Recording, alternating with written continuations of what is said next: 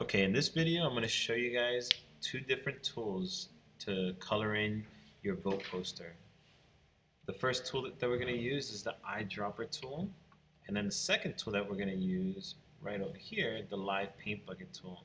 With both of these tools today you'll be able to, to fill in your, your vote poster. So let's start. The first thing I want to do is think about color and I know we've already talked about it but you want to select colors that that, that reflect what it is that you're trying to make people do, which for this you're trying to encourage people to, to vote. So I'm going to go into Google Chrome right down here and I'm looking up color palette. For this poster specifically, I'm going to look up color palettes that are red, white, and blue. So when I find the color palette that I want, which for me I want this one right here, I'm going to hold on control and click on the one that I want. I could copy the image so that I could just paste it into Illustrator, or you could save the image on your desktop and you could keep it for other projects as well. I'm just going to click on copy image. So again, I held control and I click on the palette that I want and I'm going to copy the image. And I'm going to go back to Adobe Illustrator. I'm going to click on the top where it says edit, paste. Now I have my color palette. I'm actually going to move it off to the side with the selection tool and I'm going to use this for the next few steps. I'm going to select my sketch. I'm going to click right here on my layers. If you can't see all your layers, just click on the little arrow. You can see it right there. That little arrow lets you see all the separate layers. Go all the way to the bottom and click on the little eye to hide it.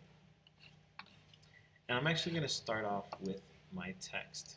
Now, in this one, my text is red, but I could actually change that. I could select the text with the selection tool, which is the black arrow right there. And then I'm going to go to the first tool that I'm going to show you, which is the eyedropper tool. This does exactly what it, what it tends to do with a regular eyedropper. It samples a section. For this, it's going to sample whatever color I click on, and it's going to change it for what I have selected. So I have voting selected, it changes it to blue change it to white, change it to red, even if I click here on gray, or even if I click on my photo, skin color, right? White, gray, red, blue, so I'm gonna leave it on blue. I'm gonna also select rights, eyedropper, click on the blue, select four, eyedropper, click on the blue. All right, the next thing I wanna do, I wanna lock my actual words because my next tool does not play well with text. It actually stops it from happening. So I have four selected. I'm going to go to Object Lock Selection, which by the way, I use Command 2. Instead of going all the way up here, I use Command 2 just to lock it. So I select this, Command 2, select this, Command 2, select Voting, Command 2. And now I could focus on this part of the illustration, which is the stars and the fist. So I'm to I'm to click and drag my illustration, not the text or anything else outside of it. Remember I said the next tool, which is the Live Paint Bucket tool, does not play well with text or with images. So I hid my sketch, I selected only my illustration, and now I'm going to go to the Live Paint Bucket tool, which is, let's see, one, two, three, four, five, six. It's the sixth one from the bottom left corner. Now, I could just click in here and it could fill these in. But in reality, I want to have this palette here. This is what makes it more customizable. So instead of me having to, to click here and change the color, I have my live paint bucket tool, which I'm going to zoom into right now. And I want to eyedrop in here, but I don't want to go switch my tool. So if you hit Option, in the same tool, it lets you eyedrop. So eyedrop into the blue. I'm going to zoom out. And then I can color this in and this. Same thing with the red. I'm going to eyedrop into the red, click, and click. If I wanted the stars to be red, I could go click, click, click, and click. Now for this right here, I actually want to use this skin tone. So I'm going to hold Option, click. I'm just going to click. I'm not holding Option. Again, I have my color already in there. I'm going to click, click, and notice because the stars are right behind it, it thinks, oh, just in case, do you want to make that a separate color? Like, no, this is all part of the same hand.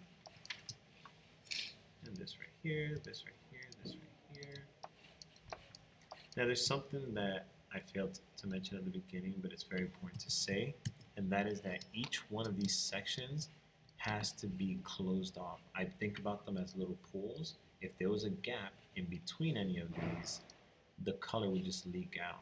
So, for example, if I wanted this to be a separate color, I would have clicked and clicked right here and closed it.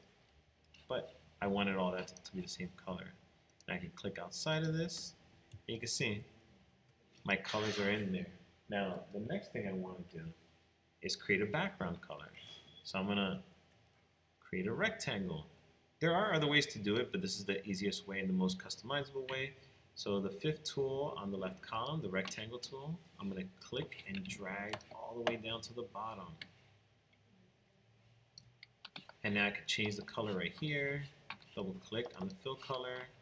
Let's say I want it to be this crazy purple, right? The only problem is that it's all the way in front. I'm going to go to Object, Arrange, Send to the back. And again, you can still change the color. If you don't like it, you can change the color at any point of any of these. And that's how to use color in Adobe Illustrator.